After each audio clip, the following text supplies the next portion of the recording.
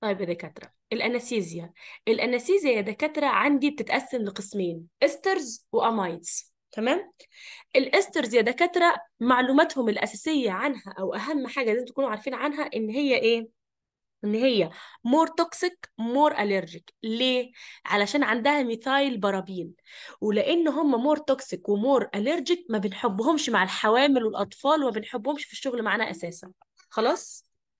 يبقى يبقى ال esters بيكونوا more toxic more toxic و more allergic ال esters يا دكاترة بيحصل لهم metabolism فين؟ في البلازما. يعني في الآخر بيحصل لهم metabolism جوه ال liver آه ال kidney عفوا في الكلى. خلاص؟ فطالما بيحصل لهم metabolism في البلازما يبقى مريض ال kidney ممنوع أستخدم معاه ال esters. طيب مين هم ال esters يا دكاترة؟ احفظوهم. procaine cocaine tetracaine benzocaine تمام؟ ال procaine cocaine tetracaine benzocaine دول contraindicated مع ال kidney disease patient علشان هم آه بيحصل لهم metabolism في البلازما خلاص وبيكونوا more toxic و more allergic ليه؟ علشان عندهم ال methyl paraben ده كل حاجة عنده طيب ال procaine يا دكاترة مميز إن عنده slow onset يعني بياخد وقت على ما يشتغل. الكوكين يا دكاترة مميز بإنه ما بيحتاجش نحط له epinephrine ليه؟ لأنه هو الوحيد اللي موجود في ال anesthesia عنده vasoconstrictor effect أما البقية أنواع ال anesthesia اللي إحنا نعرفهم اللي موجودين عندهم vasodilator effect يعني كل أنواع ال anesthesia يا دكاترة بتوسع الأوعية الدموية ما عدا الكوكين هو الوحيد اللي بيضيقها. خلاص؟ ال tetracaine يا دكاترة نفس الكلام عنده slowest onset ال benzocaine ده اللي إحنا بنستخدمه ك topical gel في العيادة. خلاص؟ ده كل شيء بالنسبة لل esters. ماذا عن ال amides؟ ال amides يا سؤال دكاترة؟ دكتورة معلش. اتفضل. لو لو واحدة pregnant ما أحط لها topical gel لا ال topical عادي. topical عادي يا دكتور. نستخدمه عادي. topical عادي.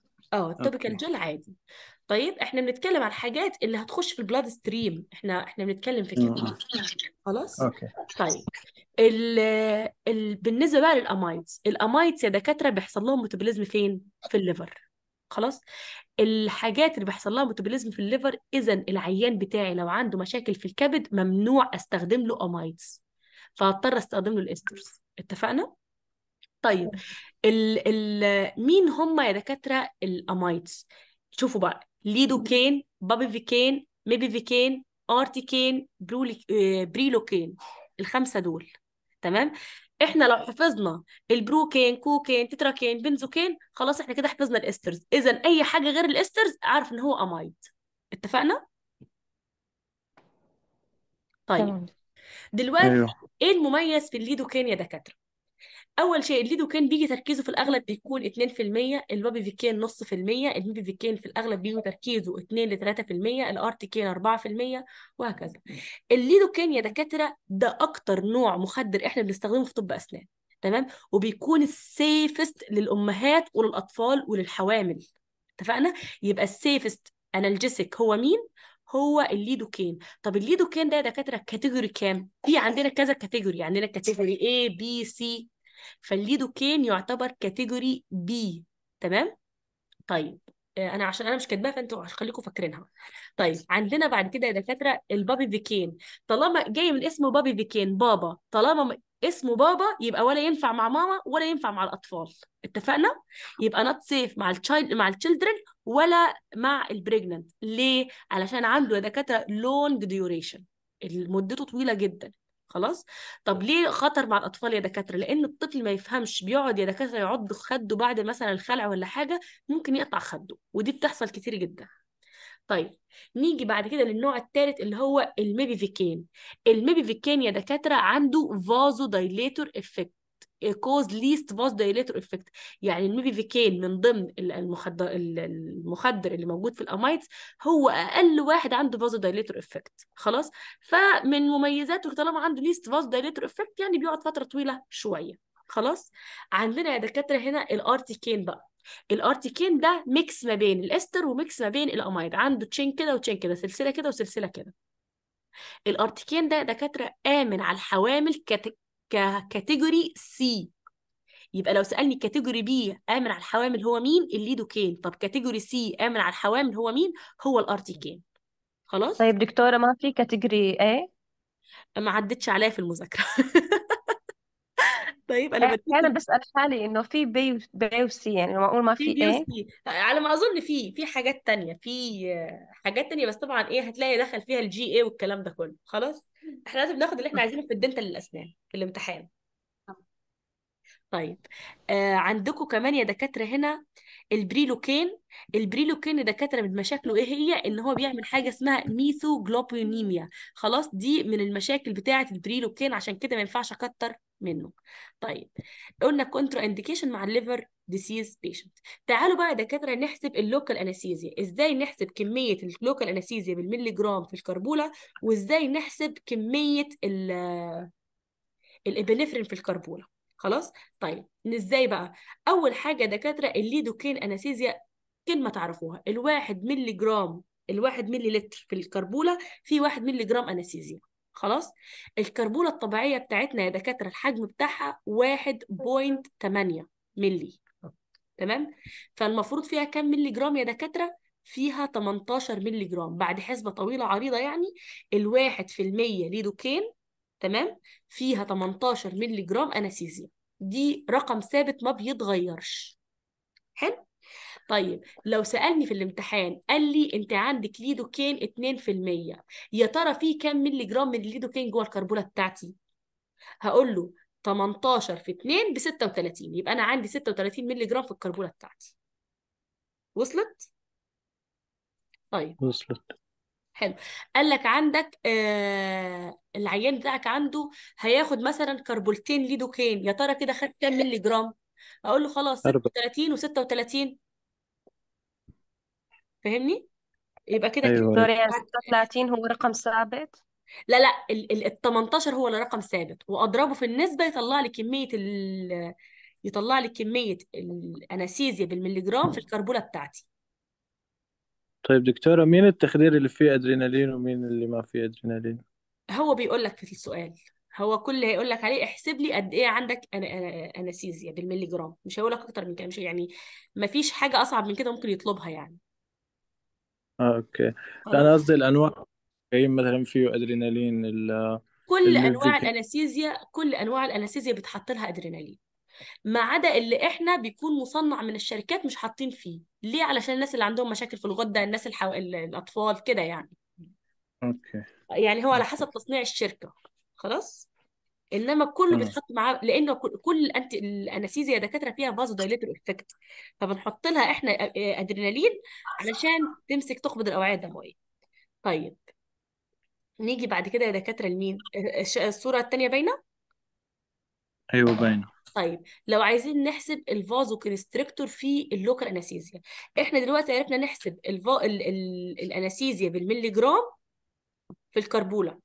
طب إحنا عايزين نحسب ال vasoconstrictor بالملي جرام في الكربوله بصوا ده كله كلام كتير أنا رياضيات ما فهمش فيه بس أنا عرفت أفسرها بحاجة واحدة إحنا دايما يا دكاتره في الأسئلة بيدينا إيه يدينا كام ملي كام في المية لوكال انستيزيا في. في الكربوله وبيديني التركيز بتاعها اللي هي واحد لواحد اللي هي واحد من واحد ل... يعني الواحد مئة ألف صح؟ من واحد لمئة ألف.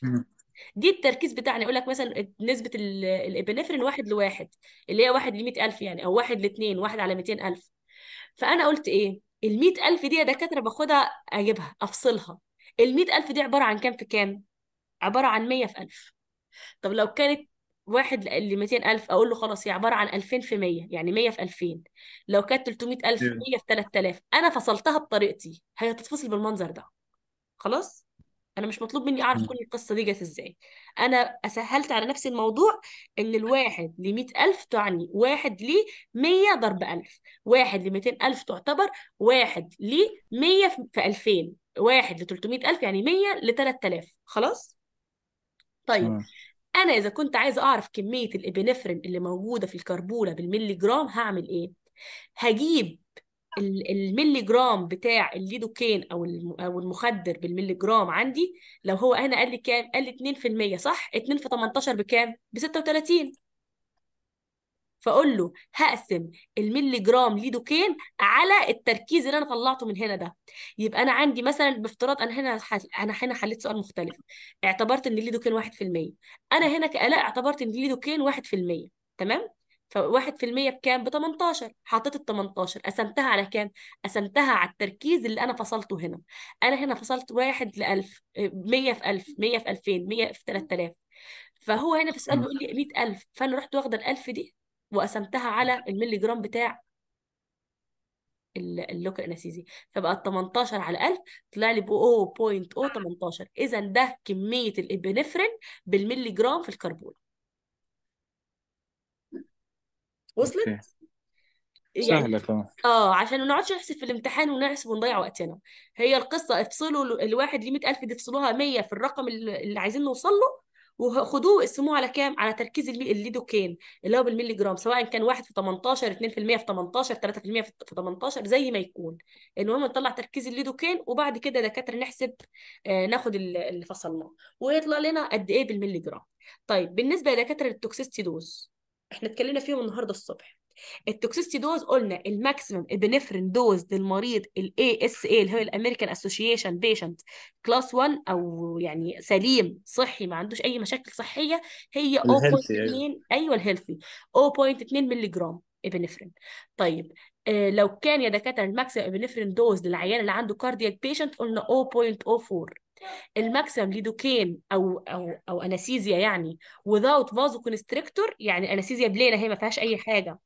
أحسبها إزاي. الجرعة إزاي؟ أقول له 4.4 لكل كيلو جرام أما يا دكاترة لو قال لي في vasoconstrictor في ال local anesthesia أقول له يبقى ال maximum dose 7 مللي جرام لكل كيلو. طيب في سؤال بيجي يقول لك إيه كل شوية أنا شفت في أبطال الديجيتال كتير.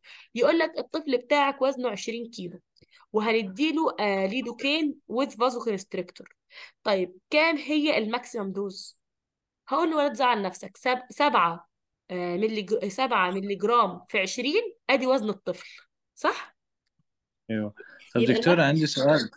اتفضل. آه ال max epinephrine for ASA patient 0.2 ملي جرام لكل كيلو صح؟ آه آه. لك مو كثير. آه آه معلش. تمام. أيوه لا عادي. لا فكرت 0.2 بس قلت مستحيل يعني. لا لا ماشي خلاص. هتكون 0.2 ملي جرام لكل كيلو. بس دي كل تمام. قصة ال anesthesia يا دكاترة والامتحان ما بيطلعش منها. طب مثلا يا دكاترة إحنا قال لك الطفل مثلا وزنه 20 كيلو. خلاص؟ وه... وهنستخدم له ليدوكين مثلا with vasoconstrictor يا ترى نستخدم له آخره كام كربولة؟ ال maximum كام كربولة؟ كام علبة دواء؟ كام علبة كربولة هنستخدمها؟ أقول له السبعة. ثواني خلي الحازم معايا أفتحها بس. أقول له 7 في 20 كيلو اللي هو وزنه 140 تمام؟ ال 140 يا دكاترة أقسمها على كام؟ أقسمها على 18 هيطلع معايا. الله أكبر إيه الكلام كتير ده؟ هيطلع معايا 7.7 لا ده في حاجة غلط يعني أنا حاسبة حاجة غلط. لحظة واحدة. هو 7 مللي جرام لكل كيلو. 20 كيلو. في 20 كيلو 140 بقت 140 طيب آه آه ال 2% ليدوكين ب 36 تقسيم 36 فيها ثلاث كربولات و point 8 يعني ثلاث كربولات maximum. خلاص؟ okay. تمام؟ آه وبكده نكون خلصنا ال anesthesia. حد عنده أي سؤال؟ لا يعطيك العافية دكتور يعني ربنا يوفقكم يا دكاترة. لو عايزين أي حاجة كلموني. دكتور رح. تبعتينا الفيديو مو على التليجرام؟ أبعت لكم الفيديو على التليجرام عينيا حاضر. يسلم ايديك ماشي. يلا. باي باي. الله معك يعطيك العافية.